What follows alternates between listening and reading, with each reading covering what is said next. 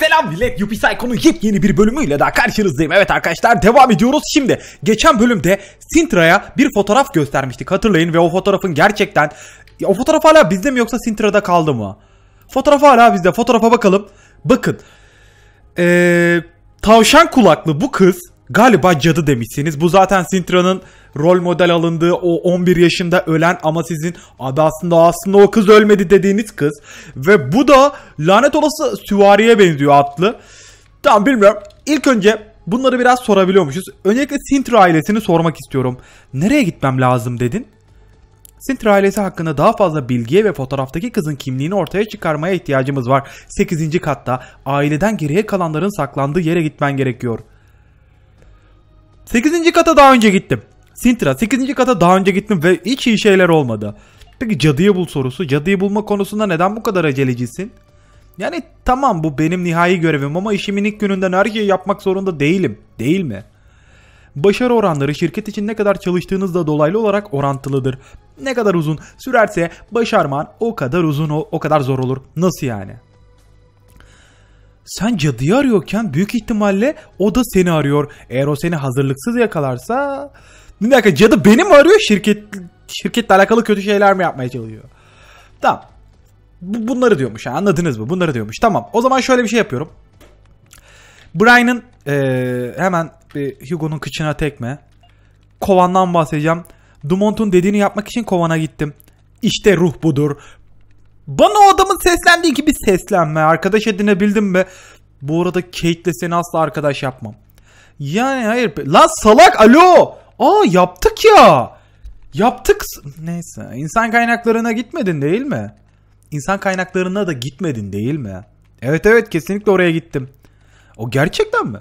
Neden bu kadar ilgileniyorsun anlamadım. İşini sevmediğini söylemiştin. İnsan kaynakları terfi almak ya da iş pozisyonu değiştirmek için uğrayabileceğin en mantıklı yer. Yüzündeki ifadenden de anladığım kadarıyla seni pek dinlememişler sanırım. Benim tarafımda olduğunu söyledin mi? Hayır. Allah'ım sana şükürler olsun. Ne zaman boş vaktim olsa onları arayıp pis şakalar yapıyorum. İnan bana beni öldürmek istiyorlar. Bu arada bir şey söyleyeyim mi?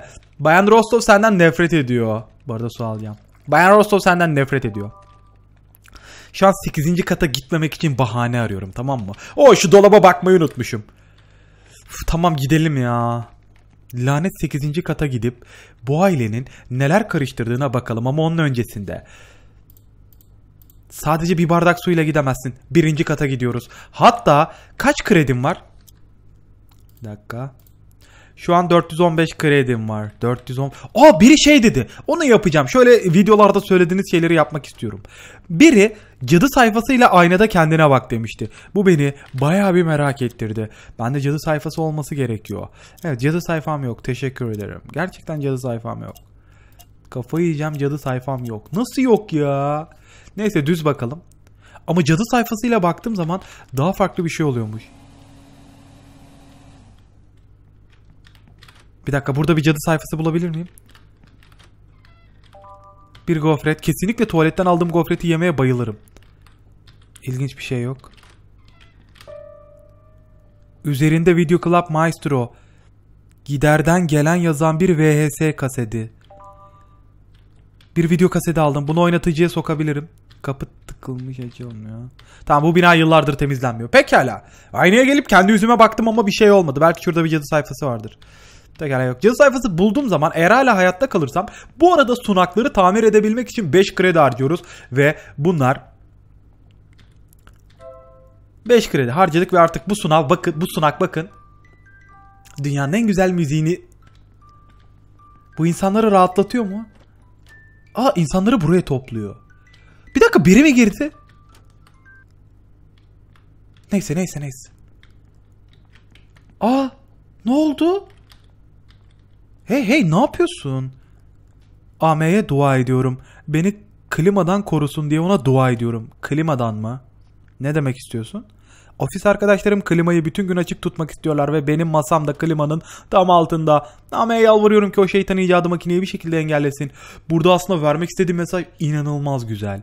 Eğer makinenin eğer klimanın altında klimadan rahatsız oluyorsan yerini değiştirmelisin. Emi'ye dua etmek zorunda değilsin. Emi kim biliyor musun? Ona Emi diyeceğim. AM'ye şey diyemem yani. O bu şirketteki bir çalışandı. İlahi güçleriyle diğer çalışanları korudu. Yıllar yıllar önce öldü ve erimiş birisine dönüştü. Ermiş. Pekala sen buna inanmaya devam et. Aklıma Stephen King'in bir filmi geldi. Sis filmiydi galiba. The Mystery. Öldüren Sis filmi geldi. Orada da böyle çok batıl inancı olan bir kadın vardı. Hatta süpermarkette insanları galyana getiriyordu. Tamam 8. kata gideceğim. Tamam lanet olsun. 8. kata git adeçe boş yapma dediğinizi duyar gibiyim. Bir şeyler farklı. Bir şeyler farklı ve bende cadı sayfası yok. İlk önce buradaki aptal beyinsizle konuşacağım. Merhaba. Böyle şeyleri kim kim kim kim fark edebilir?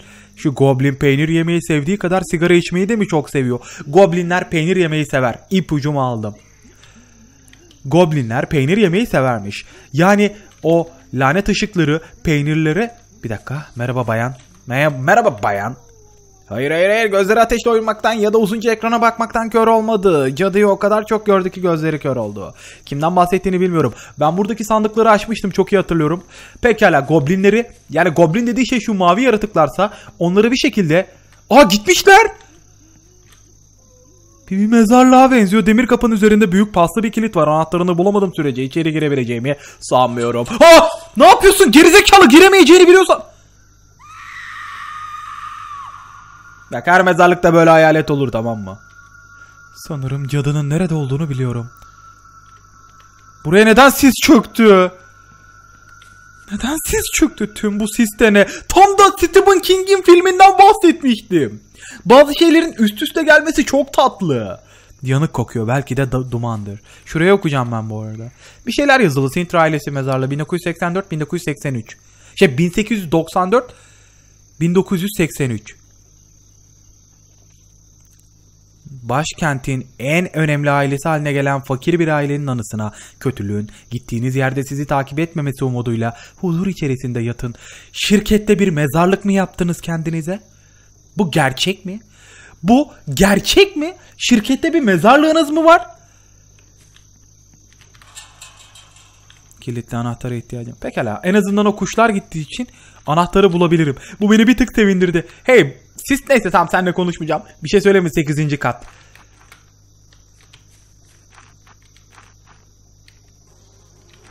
Ah. Çalıların arasında gizlice geçebilirim belki. Tamam. Bu şeyler e, bu şeyler bu şeyler kesinlikle kesinlikle şeylerden etkilenmiyor bu şeyler. Okey. İşlerin daha da kötüye gitmemesi için şuradaki sandığa bakacağım. Bir iki cadı sayfası aldım. Bir ses duyuyorum. Bu herif sen, sen, sen ve ben ikimiz de bu gizemli dumanın ardında yatan sırrın ne olduğunu biliyoruz. O goblini göremezsin çünkü tüketici bazlı ortak halk toplumunun büyüsünü kullanıyor. Tüketici bazlı ortak halk toplumunun büyüsü. Kelime güzel gözüküyor ama ama ne demek istediğini anlamadım. Bu arada bende kaşar var mı? Bende nasıl kaşar olmaz? Az önce ya of geçen bölüm bir kaşarı ekmek yapmadan ağzıma atmıştım. O ve Goblin kaşardan etkileniyormuş. Hadi ama. Hadi ama. Pekala. Sıradaki çalıya geçmek için hızlı olmam gerekiyor. Pekala. Küçük darbeler her zaman yersiniz. Bunu bilirsin. Küçük darbeler her zaman yenir. Bu ne? Okey. Bir şey itebiliyorum. Aa.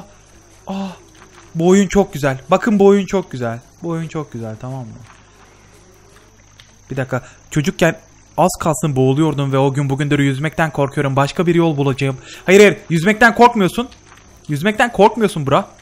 Bununla belki ee, bunun üstüne çıkabilirim suda. Deneyeceğim. Oradaki böceklerin bana yaklaşmasını istemiyorum. Aa kutular var. Tamam kutular. Şey.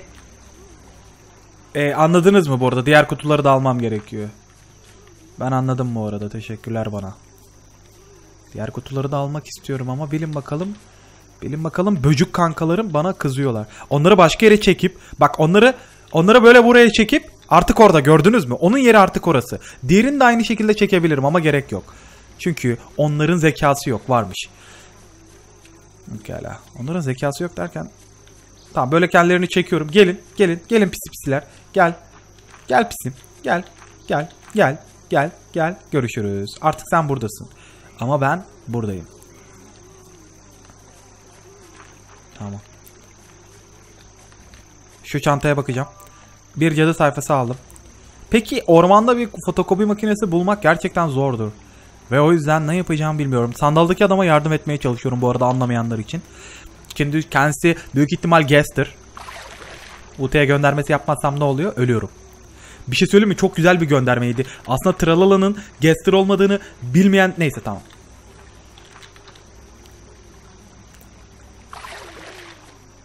Selamun hello. Hayır hayır hayır hayır hayır açıkçası bu delinin geçmişini kimse bilmiyor. Goblin denetleyici takıntılı bir hırslıydı. Kısa bir ön- kısa bir süre öncesine kadar bir goblin denetleyicisi diye bir şeyden bahsetti şimdi adam bize. Neden bahsettiğini bilmiyorum ama o kayıkta uzun süre öyle kalmamalısın. Bu arada öldüren siz. Abi filmden bahsettikten sonra bakın bu çok güzeldi tamam mı? Bu bence çok güzeldi. Belki ateşin bir kayıt noktası olduğu yönünde bir kamp ateşi ama etrafta kimse yok. Tornavidan var. Şuradaki karanlık zemine bakacağım ama öncesinde bir yazı. Ateş yanıyorsa yak cadı sayfasını. Burasının kayıt noktası olduğunu anlamak için çok güzel ya. Ben seviyorum ha bak ben bu oyunu seviyorum tamam mı?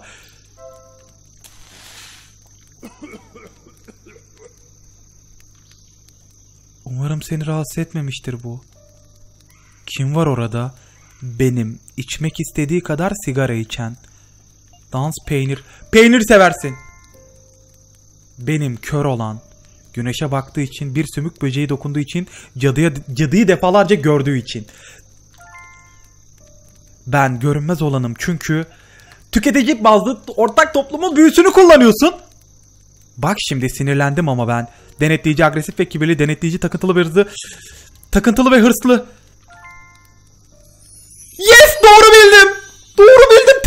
Attım. İki mideli bir yaratık mı? Hayır iki mideli bir yaratık değilim. Aa, merhaba adım Pester. O Pester inek. Gözlerin nerede? Şey adım neyse. Tamam bana istediğini diyebilirsin. Ha, bana bok böceği bile diyebilirsin. Kimsin sen? Burada mı yaşıyorsun? Ve o saç görünmezdim derken. Bu arada herifin saçlarıymış onlar. Ve gözlerin. ya. Oh, onun gözleri yok. Beni öldürecek misin? Bak gözlerin yok. sakin ol, sakin ol karma. Bay Pester. Ne kadar çok soru sorarsan o kadar aptal görünürsün. Kendini şeker dolusu bir çorba kaşığı ile öldürmelisin. Böyle karanlık zamanlarda insanoğlu zamana köledir. Her şey çok önemlidir o kadar ki acildir. De koş koş koş yakaladım seni. Anın tadını çıkar eski dostum. Bana bak bak bana ağzımda prom.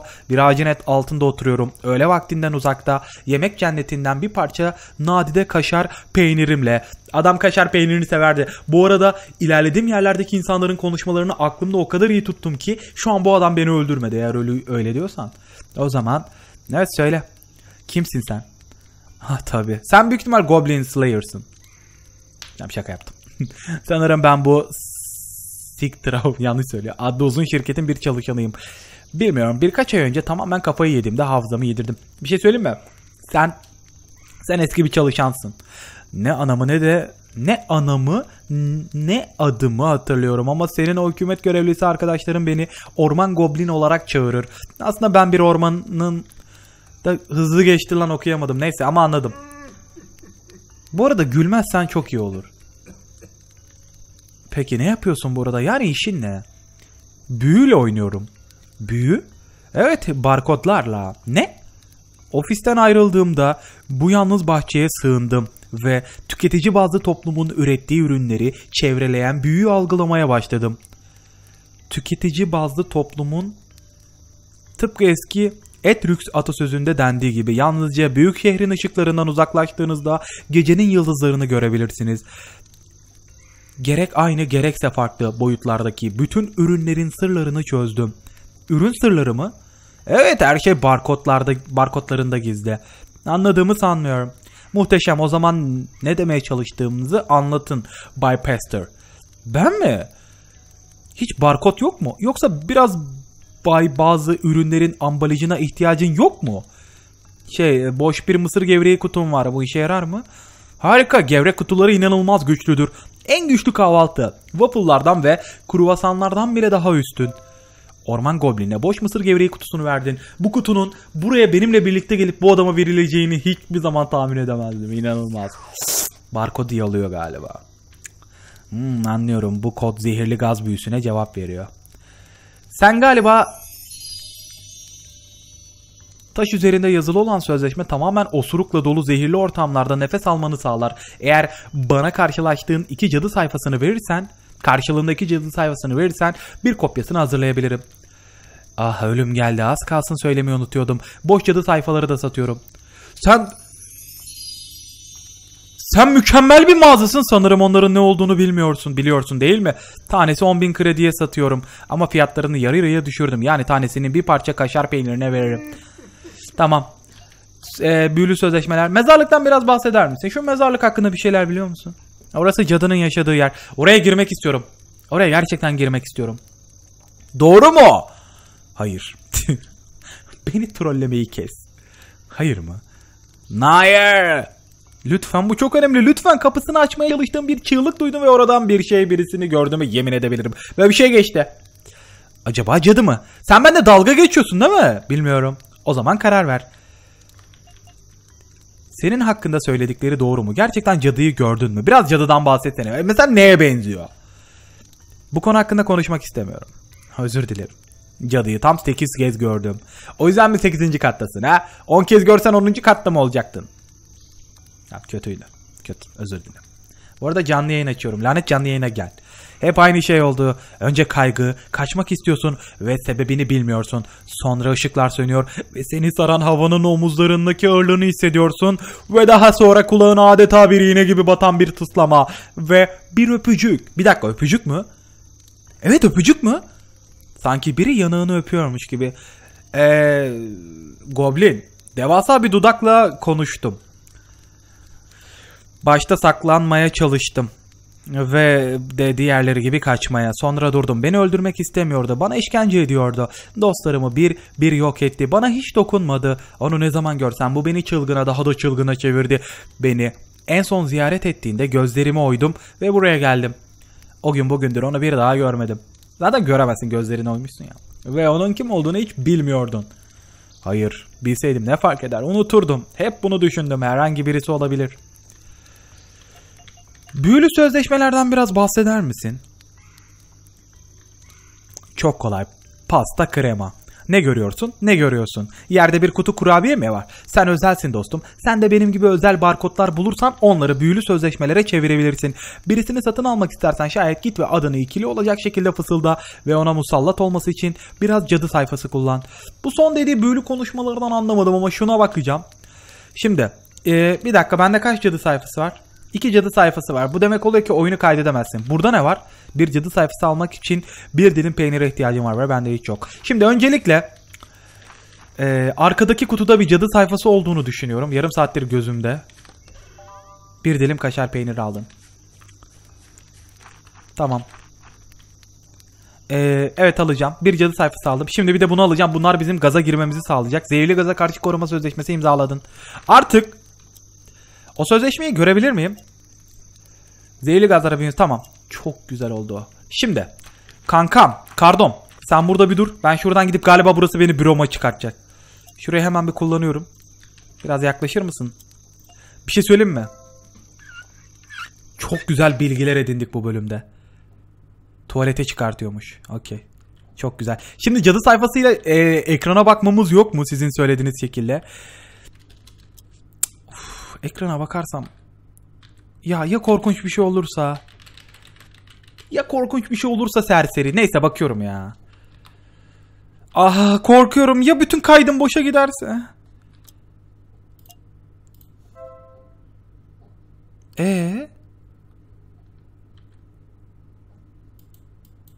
Yılanın aynadaki yansıması S gibi değil de 2 gibi.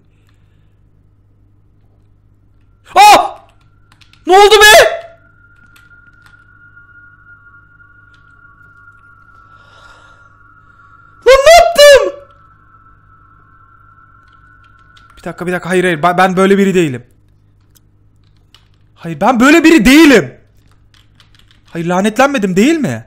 Bunu hemen bunu hemen şeye soracağım. Sosa ya da bilmiyorum Brian'a soracağım. Neredesiniz?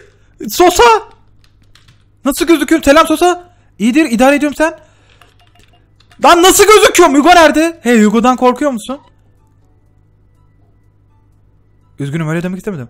Bana sor diye o mu gönderdi? Saklanıyor mu? Dinliyor mu? Hayır seni paranoyak mı yaptı? Hayır hadi ama sanmıyorum ki bizi bu tarz şeyler yapar mı ki? Daha da kötülerini Pester.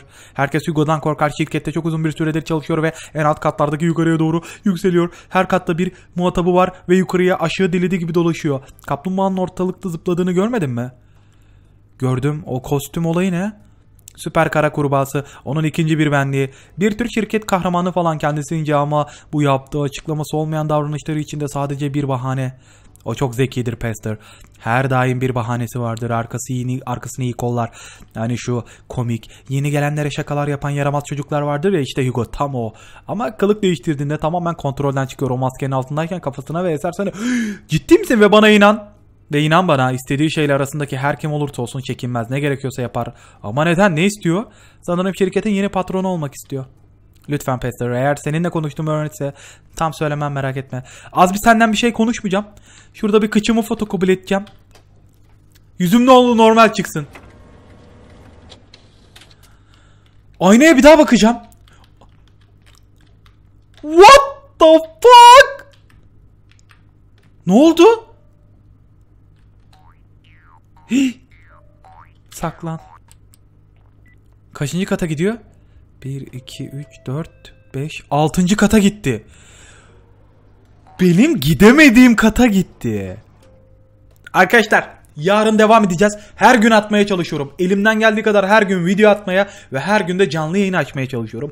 Bildirimler konusunda dediğim gibi kanala abone olmazsanız ve o zil mil bir şey varmış ona basmazsanız ne yazık ki bildirimler düşmüyor olabilir. O yüzden kusura bakmayın benlik bir durum değil. Kendinize çok iyi bakın sizi çok seviyorum.